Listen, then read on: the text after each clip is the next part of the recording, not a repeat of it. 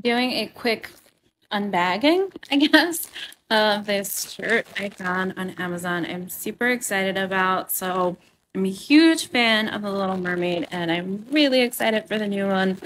And I am so excited to see Disney really embracing representation in their movies recently because that is absolutely critical for kids to see themselves represented in their heroes that they're seeing on the screen. So I wanted to really support that. And I came across this shirt. Hold on, let me turn the camera around. That is absolutely gorgeous with this artwork of Ariel, her dad, and all of her sisters.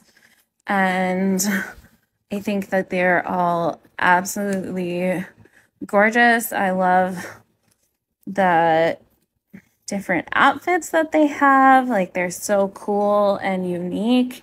And they've kind of got actual like fashion clothing vibes and not just like shells and tails. So that's cool. I'm so excited to wear this shirt to the parks and to wear it when I watch the movie. And I just wanted to share I got this on Amazon and think it was around like 20 $25 and I was so excited to show it to you all.